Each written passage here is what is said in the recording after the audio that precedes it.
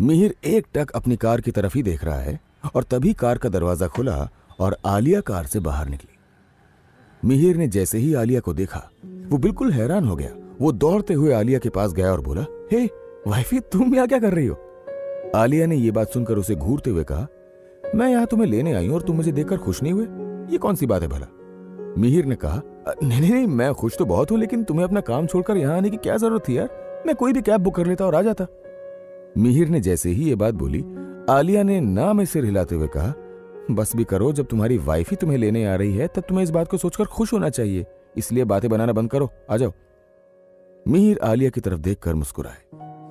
आलिया ने मिहिर के सामान की तरफ़ देखते हुए कहा, चलो, तुम्हें और ज़्यादा हैरान होने की ज़रूरत नहीं है, अपना सामान डिग्गी में डालो और चलो घर चलते हैं। मिहिर ने जैसे ही आलिया की बात सुनी, उसने तुरंत अपना बैग डिग्गी में रखा और कहा, लाओ आलिया, मैं ड्राइव करता हूँ।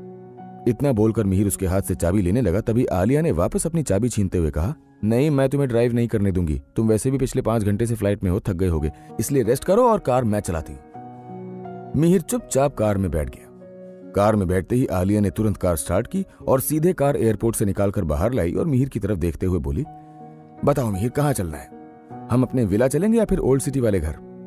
मिहिर ने जैसे ही आलिया की बात सुनी, उसने कहा एक काम करो ओल्ड सिटी वाले घर चलते हैं। क्योंकि अभी मुझे शाम तक वेन्यू ग्रुप ऑफ़िस जाना पड़ेगा और वहाँ पर मुझे एक मीटिंग करनी पड़ेगी। निखिल, काव्या और बाकी सभी मैनेजर से काम को लेकर बात करनी पड़ेगी। क्योंकि मैंने जितना भी लोन और अपने जितने भी फ्रेंड से उधार लिया है, वो सब मैं जल्दी से जल्दी चुकाना चाहता हूँ। मैं नहीं चाहता ज़्यादा दिनों तक मैं किसी का भी कर्जदार रहूँ। आलिया ने जैसे ही मिहिर की बात सुनी, उसने थोड़ा हैरान होते हुए कहा, क्या मतलब है तुम्हारा मिहिर? मिहिर ने आलिया को इतना कंफ्यूज देखकर कहा, अरे बिस्ट ग्रुप के मुझे ज़्यादा से ज़्यादा शेयर खरीदने थे। इस वजह से मुझे थोड़ा लोन लेना पड़ा। और उन्हीं पैसों को अब मुझे जल्द से जल्द वापस करना पड़ेगा। मिहिर बोल ही रहा है कि तभी आलिया ने अचानक से कार में ब्रेक लगाया और कार को रोकते हुए कहा, क्या मिहिर, अगर तुम्हें पैसों की ज़रूरत है तो तुम मुझसे भी तो बात कर सकते थे। आखिर कपूर इंडस्ट्रीज़ तुम्हारे काम आ जाती? मिहिर ने आलिया का हाथ पकड़ा और कहा, मेरे पास इतना टाइम ही नहीं था वाइफी, कि मैं तुमसे ये बात करके कपूर फैमिली से हेल्प माँगता। सब कुछ इतनी जल्दबाजी में करना पड़ा कि मुझे कुछ समझ में ही नहीं आ रहा था। और फिर मैं अगर तुम्हें बताता तो तुम भी पैनिक होती। इस वजह से मैंने तुम्हें नहीं बताया। मिहिर ने आलिया को पूरी बात समझाई तो आलिया ने एक गहरी सांस ली और दोबारा कार स्टार्ट करते हुए कहा, ठीक है, अभी तक तुमने मुझे नहीं बताया कोई बात नहीं, लेकिन अब आगे से तुम मुझे सब बताओगे।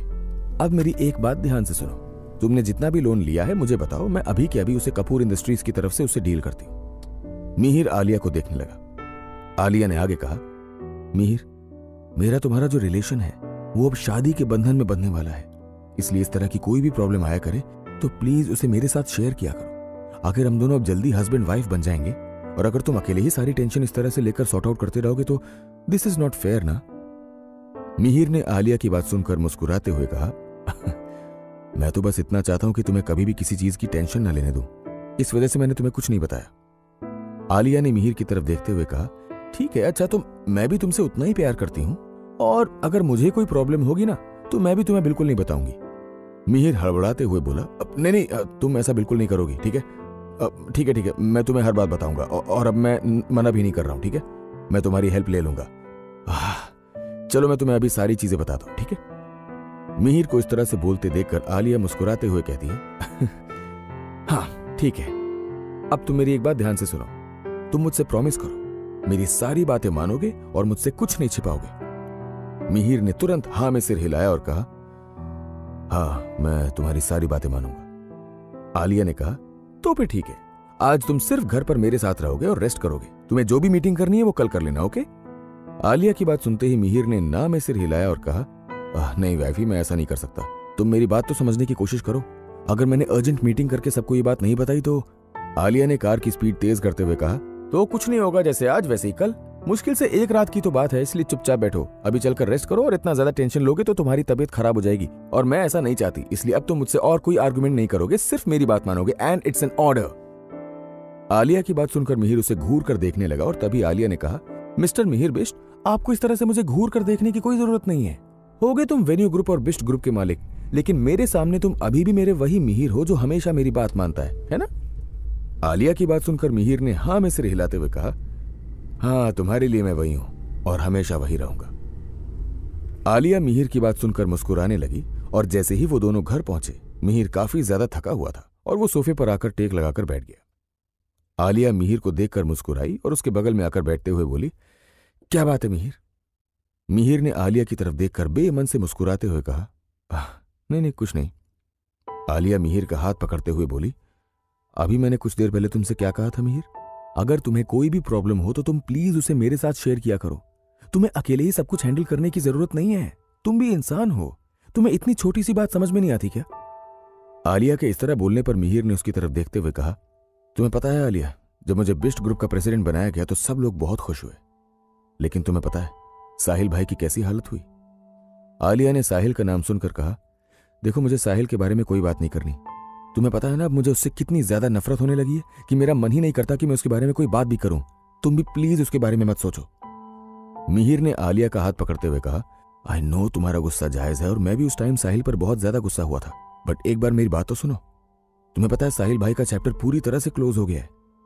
मिहिर ने जैसे ही ये बात बोली, आलिया थोड़ी सी हैरान हुई और उसने वियर्ड सा फेस बनाते हुए कहा, क्या क्या मतलब है तुम्हारा? मिहिर ने कहा साहिल भाई की मेंटल हेल्थ इस टाइम बहुत ज़्यादा खराब हो गई है। वो बस एक ही बात को बार बार दोहराए जा रहे हैं। मेरे बिस्ट ग्रुप के प्रेसिडेंट बनने की वजह से उन्होंने खुद को ऐसी सिचुएशन में डाल लिया है, जिससे सोहन चाचा और डैड से लेकर घर के सभी लोग परेशान हैं। क्योंकि किसी ने भी साहिल भाई को इस तरह से कभी भी नहीं देखा, क्योंकि वो इतने ज़्यादा स्ट्रांग हैं कि वो कभी जल्दी बीमार ही नहीं पड़ते। लेकिन इस टाइम जैसे उन्होंने सारी उम्मीदें छोड़ दी हैं, और उनका दिमाग बिल्कुल छोटे बच्चों की तरह हो गया है। वो बिल्कुल किसी किसी पागल आदमी की तरह बिहेव कर रहे हैं। तुम्हें पता है, सोहन चाचा ने मुझ पर ब्लेम लगाया कि यह सब कुछ मेरी वजह से हुआ है।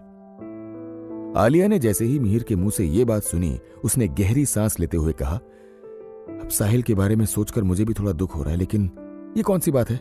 जो सोहन अंकल तुम्हारे ऊपर हर चीज़ का ब्लेम लगा देते हैं? मुझे तो साहिल से ज़्यादा गुस्सा तुम्हारे सोहन चाचा पर आता है। सॉरी टू से मिहिर बट तुम्हारे सोहन चाचा बहुत ज़्यादा सेल्फिश हैं। मिहिर ने हँसते हुए कहा, सोहन चाचा तो सिर्फ़ सेल्फिश हैं, लेकिन रोहन चाचा उनके दिमाग में तो कुछ अलग ही चल रहा है। मुझे श्याम अंकल ने बताया कि मुझे सबसे अब बहुत ज़्यादा केयरफुल रहना पड़ेगा, क्योंकि अब सभी मेरी जान के पीछे पड़ेंगे। आलिया ने जैसे ही ये बात सुनी, उसने मिहिर का हाथ पकड़ लिया और कहा, क्या? लेकिन क्यों? मिहिर ने आलिया को रिलैक्स करवाने के लिए उसके गालों को सहलाते हुए कहा, अरे अरे, तुम इतना परेशान मत हो, मैं अपना ध्यान खुद रख सकता हूँ। बस ये बात मैंने तुम्हें इसलिए बता दी क्योंकि मैं तुमसे कुछ भी छिपाना नहीं चाहता था। लेकिन डैड ने मुझे बहुत अच्छी तरह से समझा दिया है। कि अब अगर इतनी सारी जिम्मेदारियाँ उठाऊँगा तो ये सारी चीज़ें तो मुझे झेलनी पड़ेंगी, और मुझे इन सब चीज़ों का ज़्यादा डर भी नहीं है। बस मैं तुम्हारे लिए थोड़ा सा डरता हूँ। तुम बस अपना ध्यान ठीक से रखना। आलिया ने मिहिर की बात सुनकर हाँ में सिर हिलाया, और तभी मिहिर ने आलिया का हाथ पकड़ा और कहा, आलिया, तुम्हें पता है, डैड ने मुझसे आते टाइम क्या बोला? आलिया मिहिर की तरफ़ बड़े ही गौर से देखते हुए बोली, मुझे कैसे पता होगा? क्या बोल रहे थे अंकल, मुझे बताओ? मिहिर ने मुस्कुराते हुए आलिया के बिल्कुल करीब जाकर उसके माथे को अपने माथे से लगाया और मुस्कुराते हुए कहा डैड ने मुझसे बोला है कि वो हमारी शादी की बात को आगे बढ़ाना चाहते हैं और तुम्हारे डैड से इस बारे में बात करने वाले आलिया ने जैसे ही ये बात सुनी, उसने शॉक्ड होते हुए कहा, क्या? सच में? मिहिर ने मुस्कुराते हुए हाँ में सिर हिलाया और कहा हाँ अब बहुत जल्द हमारी शादी होगी और हम हनीमून पर चलेंगे। I am so excited Alia Mihir की बात सुनकर शर्मा गई। वैसे इस टाइम पर मिहिर ये बात बोलना नहीं चाहता है, लेकिन उसने ये सारी बातें आलिया को बता दी क्योंकि वो उसका मूड थोड़ा चेंज करना चाहता है और वो इस बारे में ज़्यादा ना सोचे, इसलिए मिहिर ने आलिया को यह बात बताई। आलिया मुस्कुराते हुए बोली, लेकिन हमें अभी शादी के लिए थोड़ा टाइम चाहिए होगा, है ना? क्योंकि ये सब अभी जितना भी मैटर चल रहा है, मुझे ये सब सॉर्ट आउट करना है। तुम्हारे लोन के साथ साथ हमारे वेन्यू ग्रुप में भी कई सारी चीज़ें हैं। मिहिर ने आलिया का हाथ पकड़ा और उसके हाथों पर किस करते हुए कहा हम सब मिलकर इन सारी सिचुएशन को हैंडल कर लेंगे। तुम इन सब बातों को लेकर पैनिक मत हुआ करो, समझी?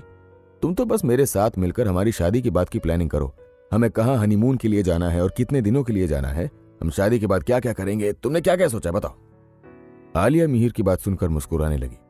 मिहिर ने आलिया को निहारते हुए कहा, तुम अपनी बकेट लिस्ट तैयार करो, ठीक है? आलिया मिहिर की बात सुनकर मुस्कुराई और हाँ में सिर हिलाते हुए कुछ सोचने लगी। आलिया को इस तरह सोचते देखकर मिहिर ने उसे छेड़ते हुए उसके कान के करीब जाकर कहा, वैसे तुम्हें अभी बच्चों के नाम सोचने की ज़रूरत नहीं है, इसलिए इतनी गहरी सोच में मत जाओ, उसमें भी थोड़ा सा टाइम है। आलिया ने जैसे ही मिहिर की बात सुनी, उसके कंधे पर हाथ मारते हुए आलिया उठकर खड़ी हुई और बोली, शट आप मिहिर, जाओ जाकर फ्रेश हो जाओ। इतना बोलकर आलिया अपने रूम में चली गई और मिहिर उसे जाते देखकर मुस्कुराने लगा। या मिहिर के वापस मुंबई आने से उसकी दिल्ली की सारी प्रॉब्लम्स वहीं छूट गई हैं और अब उसे यहाँ आकर कोई परेशानी नहीं होगी? रोहन के दिमाग में मिहिर को लेकर जो प्लानिंग चल रही है, उसका क्या? वो मिहिर को मारने का प्लान छोड़ देगा। क्या होगा आगे? जानने के लिए सुनते रहिए रईस ज़्यादा सिर्फ़ और सिर्फ़ पॉकेट एफ़ पर।